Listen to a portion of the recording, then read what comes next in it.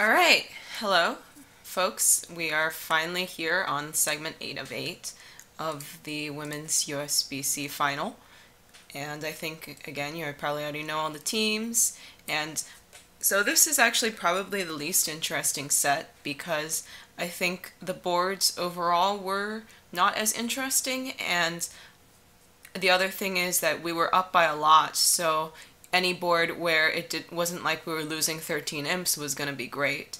Uh, even if it felt like maybe a small loss, then it was like whatever. And certainly if it was a flat board, it was like fantastic. So I think that was just the kind of mentality you have when you're going into playing 15 boards up 50. Um, but obviously you try to push it out of your mind and just think about playing bridge normally but I think it's always in the back of your mind that you're counting the imps that you could potentially lose. Uh, but anyway, so let's go ahead and get started here. So the very first board, I pick up a strong 2 club opener and fourth chair, so I go ahead and do that. Partner responds 2 diamonds, I bid 2 no trump. She transfers to heart or to spades, and I uh, and then she bids 3 no trump. And I continued here with 4 clubs, which shows a good raise to 4 spades if you think about it, it really just has to be that. And it doesn't really say anything about clubs either. It just says that I have a good hand for spades, and Beth didn't really care. And if you can see, this contract is basically on one of two things, either spades 3-2 or the club finesse. So it's a very good spot, and you definitely don't want to be any higher than that. So when they led a diamond, I won, and I immediately played ace of spades and a spade, just to try to get the kids off the streets, so to speak. And I think I played a few more cards before I eventually just claimed on the club finesse. And that was offside, so we made 10 tricks. So this was a good start because I could really see that there's no way for us to do any better on this board. Of course, they made an over trick at the other table. Uh, and um, so now Beth opened one spade. I responded two spades. Pamela overcalled three hearts, and Beth jumped to four spades and this one all pass.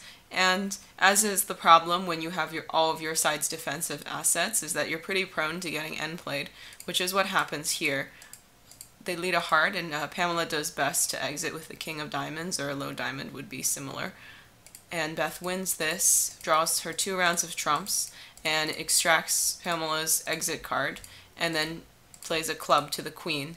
So now Pamela is in, and her options are she can play a heart back, either a high or low heart, uh, and this is going to give declare a pitch of their club, and then they can play ace of clubs, ruff a club, so now the fourth club is good, cross and trumps, and then pitch their diamond.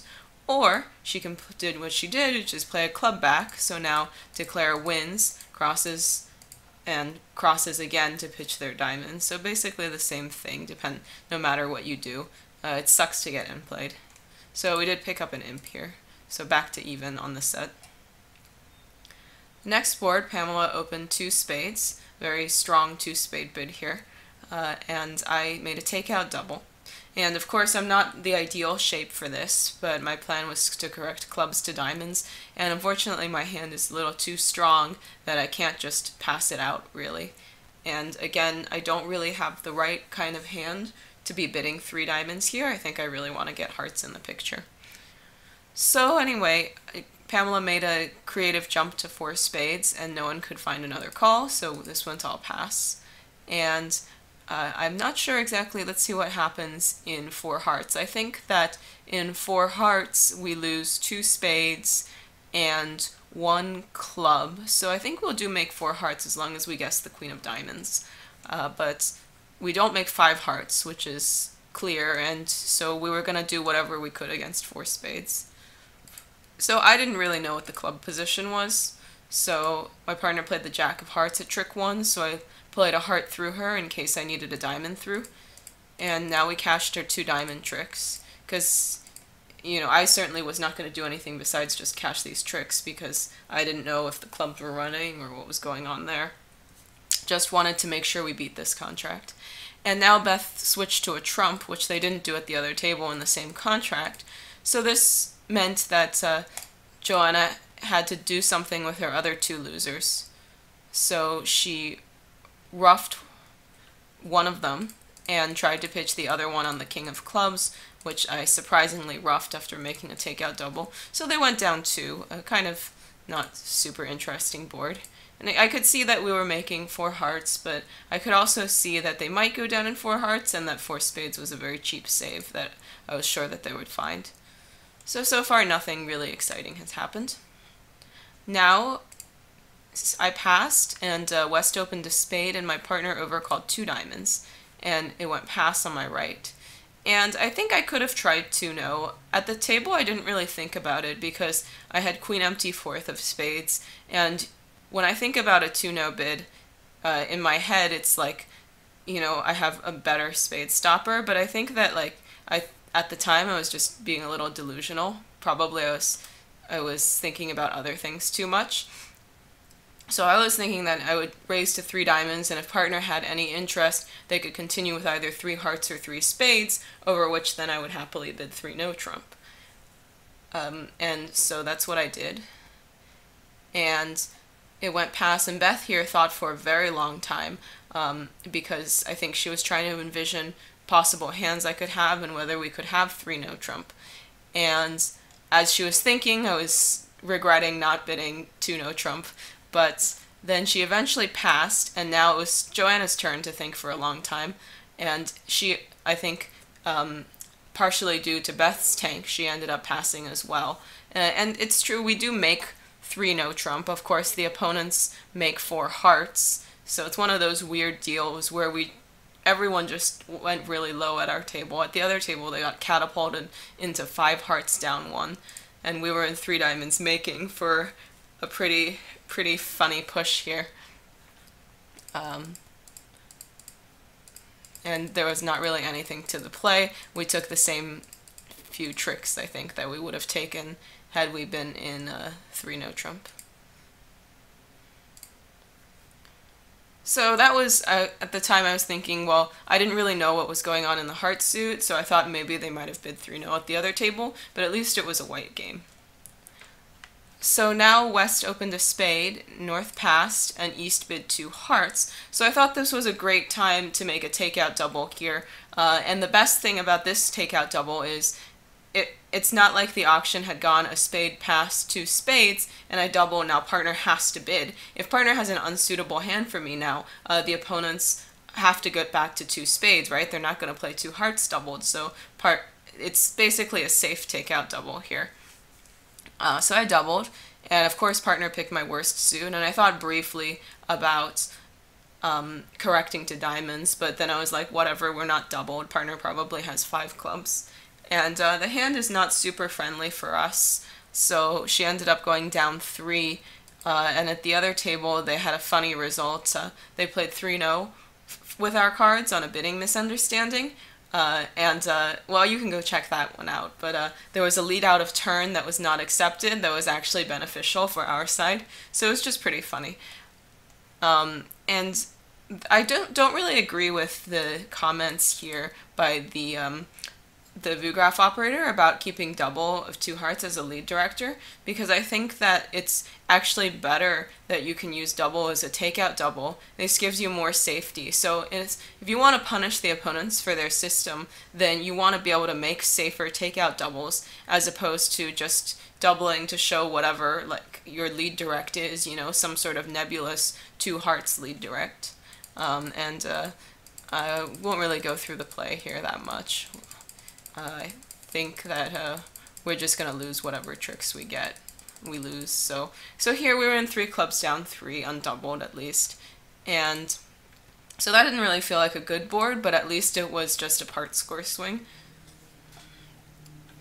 And so now East opens a diamond, and it goes pass, and West bids a no trump, which is artificial, showing something or other. And uh, they have some sort of weird relay auction again to get to four hearts. Let's see who's on lead against. so I was on lead against four hearts, and I don't remember what I led. Right, so I led my stiff ace of clubs, um, hoping that maybe I could find partner with an entry somewhere. So then, um, hopefully, we could get the ace of clubs, a club off, the ace of hearts, and partner's entry. That was my goal here, and unfortunately, uh, it was not to be. So I played the ace and partner played the ten of clubs, which is the uh, highest club I could see. So I was hoping that she was giving me suit preference for spades, which she was. So I shifted to a spade.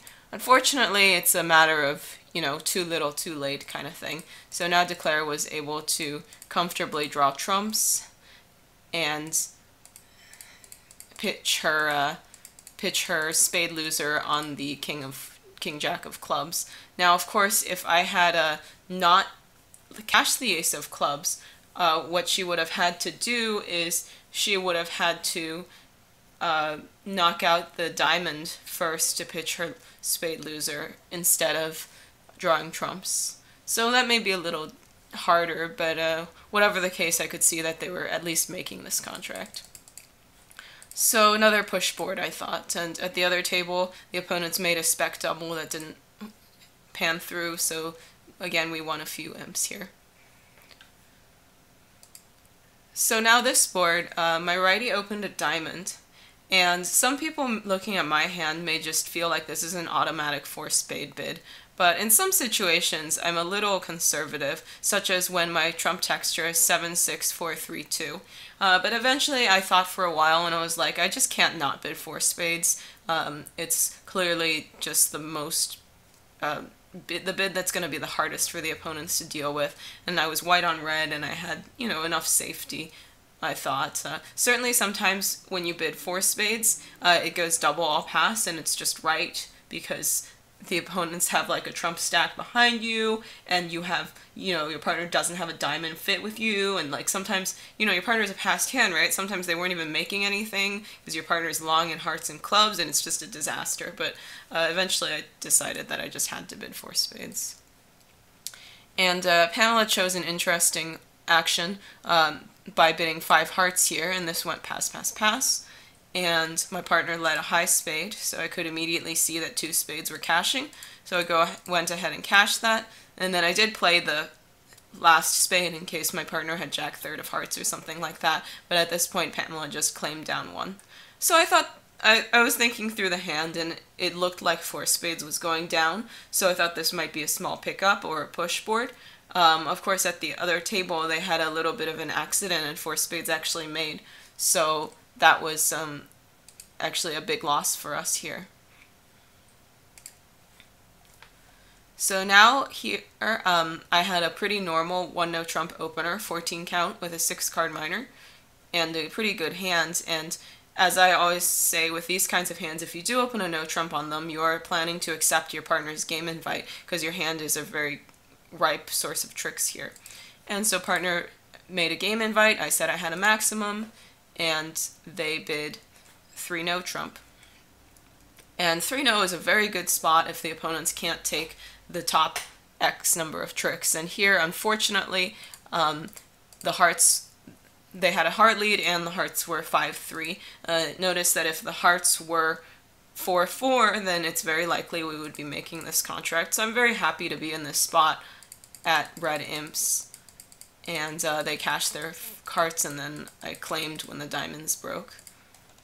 So a little unlucky, but again, I was, I could tell that uh, even though we were in game going down and maybe they weren't in game at the other table, that again, it was just going to be a parts worth swing, if anything, because we weren't making a different game. So now the next board. I went pass pass and East opened a diamond so I overcalled two diamonds natural since they play like a zero plus diamond, I believe. That was our agreement. And it went pass, and my partner tried two spades. And I thought for a while here, um, my two options were going to be pass and three spades. That's what I was thinking about. And I didn't really love my hands. Um, and partner was a passed hand, so that means that most of the time here she's only going to have five spades. And we open pretty aggressively, so, you know, she might have opened like a 10 count with a singleton. Uh, so she could be like as much as basically she could have an 11 count with a 5 card suit or something like that, I thought. Um, that was like her maximum hand. And she could also just have just some sort of more random hand with a partial diamond fit where she's just trying to get us to our to see if you know if I actually have a good hand, maybe I have four card support, then maybe we have a game. So I really actually thought about passing here because I was worried about um, whether or not we could even make three spades, just depending on the way her honors were on the hand. Eventually, I decided that I just couldn't pass, that I had to bid three spades. So that's what I did. And um, my partner was happy to bid four spades. And Joanna found a good lead here. If she doesn't lead her clubs, uh, then my partner's second club will go away on the king of diamonds, and she'll easily make four spades. But uh, on the ace of clubs lead, they took their two clubs and then waited for the spades. So again, this was a pretty decent game to be in at our table. Um, it requires, I mean, it's not decent in the sense that it's off four toppers, but uh, apart from that, it's pretty decent.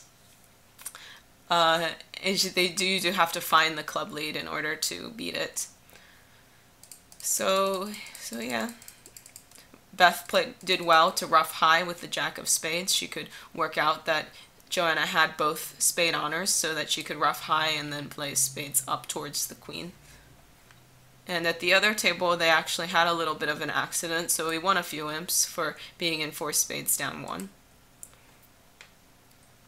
So now we're on to board 25, so that's six more to go, as the VuGraph operator points out. And uh, although I don't know it, we still have a 50 imp lead, so we're sitting in a very good position here.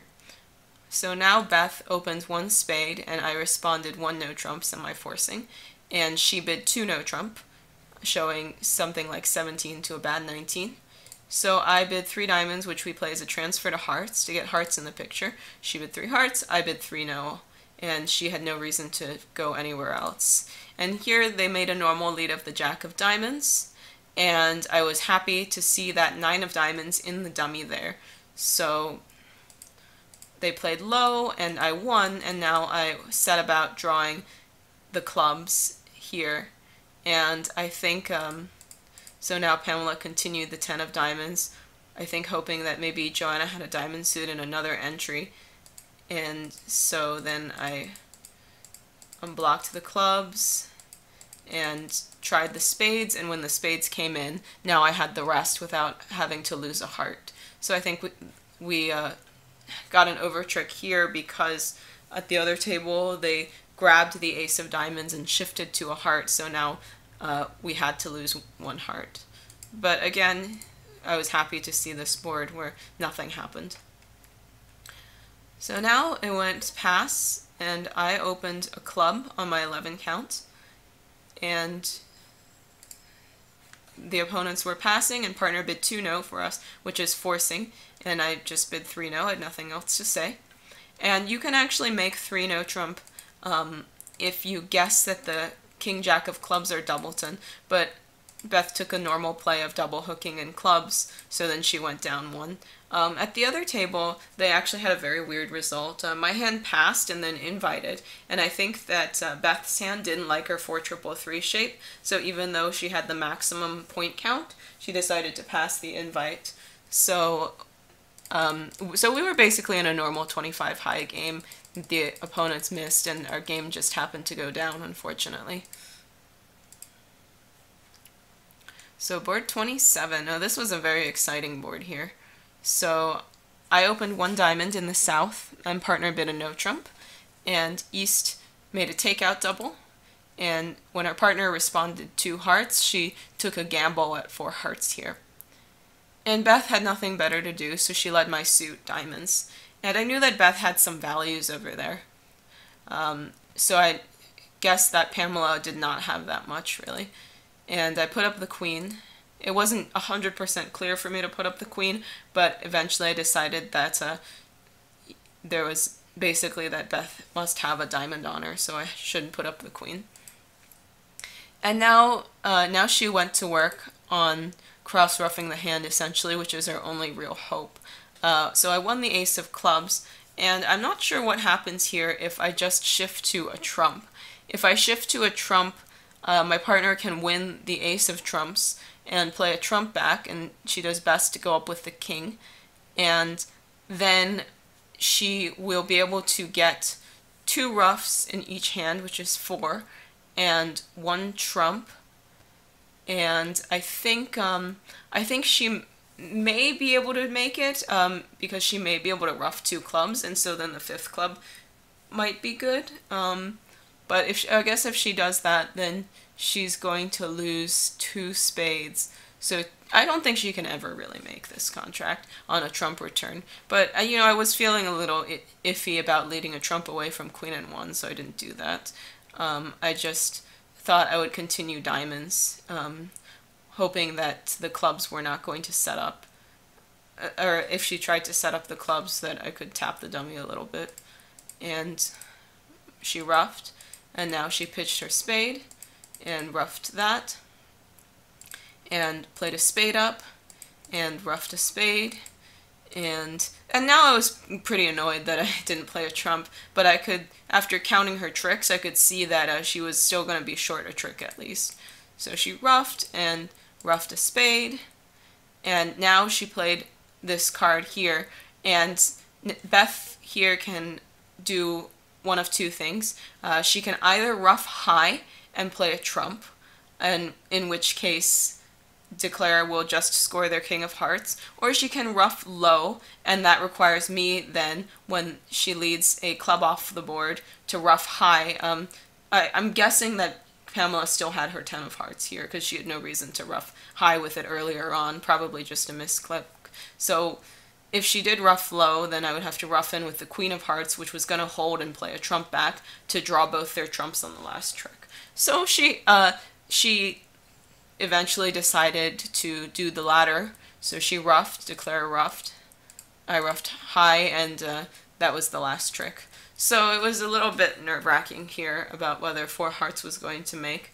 Um, at the other table, they opened two diamonds and played it there and could not make two diamonds, not surprisingly. So, um, so we lost a couple imps here, but it didn't really feel like a loose position to me. So now the opponents opened two hearts and went pass, and my righty bid three hearts, I think, or three diamonds, um, probably diamonds with some heart tall. And I thought my hand was just a little too good, that I had to bid three spades as much as I didn't really want to, uh, and that, you know, it was unlikely that they were going to double me because my spade texture was so good.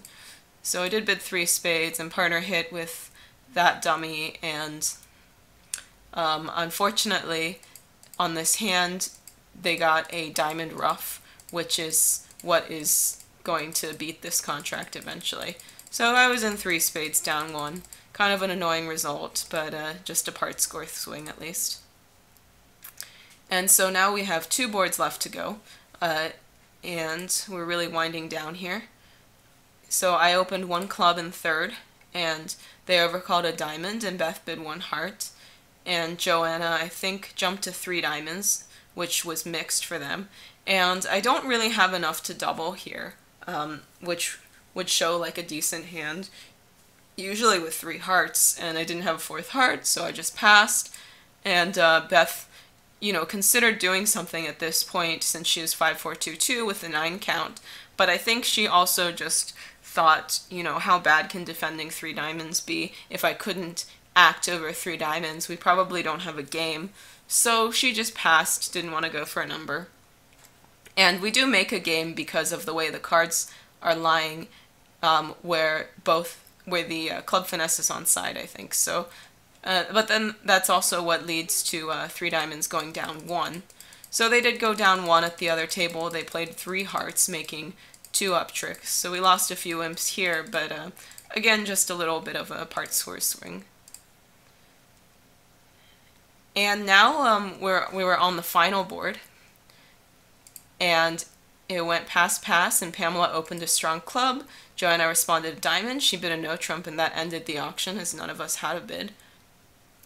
And my partner led the ace of spades, which we play is attitude, so I discouraged. And she shifted to her natural shift, which is the queen of hearts, which I was happy to encourage here because I was holding king 9 8 fourth and my hearts were just going to be higher than dummies.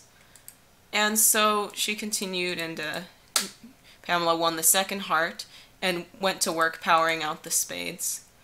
Um, and at this point, Beth was thinking, so Pamela showed me her hand and asked me how many tricks she was making, and I couldn't really tell because um, I was trying to count. I was like, well, you have four clubs, and um, I, like, you know, it wasn't really clear what was going to happen in the other suits. And I think I was tired, but anyway, eventually Beth was like, I'm just going to lead a diamond, so that solved the diamond issue. So now she was going to um, get I think uh, she, now she can drive out the other spade, and then you can never get to me in the heart suit for making three no trump. And that was the final board of the set, a very dull board. Uh, so, as you can see, um, we, uh, here, as you can see, we started out like decently, then we lost this big swing here, and then we lost a few random swings, and uh, eventually we ended the segment down um, what's this number? Down so we lost the segment by 18 but we ended up winning the whole thing by 34 still.